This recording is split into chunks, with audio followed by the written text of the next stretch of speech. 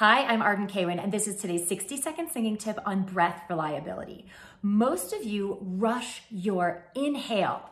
And so when you're rushing your inhale, the breath comes in like this. And you take all this tension and you don't get very much air. So one hack that I love to use with my singers is to practice your repertoire doing your breaths out of tempo, which means when you're in the phrase, you're in the normal tempo that you're usually in, but when it's time for the breaths, take as much time as you need to teach your body how to release on the breath. When you feel like you have to keep tempo, you rush and then your body never learns what it feels like to release itself and let air come in. So what that's going to look like is like, happy birthday to you. Happy birthday. Did you see how much time I gave myself for my body to let go, expand, and release on that inhale?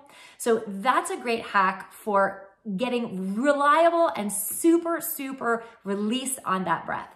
I'm Arden Kaywin. This has been your 60 second singing tip. If you are looking for a way to up level your singing and to get those shifts that turn struggling professional singers into thriving pros with amazing careers, I invite you to come watch my masterclass on the five shifts it takes to up level and get those breakthroughs that bring those big careers and those big performances. Hey guys, thanks for watching today's video. If you want to subscribe, click the button right there that says subscribe. And if you want to watch the masterclass, which you absolutely absolutely should do.